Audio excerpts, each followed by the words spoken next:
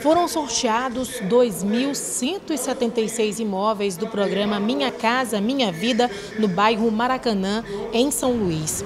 20% deles já estão reservados para as pessoas que moram em palafitas e em áreas consideradas de risco aqui na capital maranhense. Mais uma data especial para a política habitacional do município, em que a gente avança é, fortemente com essa política habitacional, já que nos últimos cinco anos e meio nós já entregamos mais de 16 mil unidades habitacionais na capital. Com essas 2.176 unidades, nós passaremos o número de 18 mil unidades habitacionais entregues só na gestão do prefeito Edivaldo Holanda. Durante o sorteio, muita gente estava ansiosa pelo resultado. Meu sonho é assim realizar, né, de eu ser sorteada, entendeu? Como de uma, da maioria das pessoas, né, que estão aqui presentes. Aí eu estou esperando, né? Confiante em Deus, né? Que meu nome saia aí na lista de sorteados.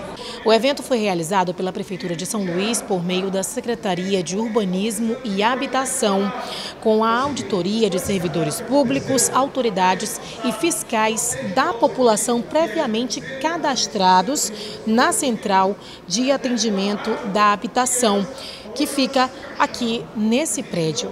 O sorteio é altamente transparente, está sendo acompanhado pela mídia, por controladores do município do estado, Convidamos também o Ministério Público, a Defensoria Pública. O sistema que trata-se do sorteio trata-se de um sistema de código aberto, transparente, totalmente auditável. Vocês poderão acompanhar em minutos.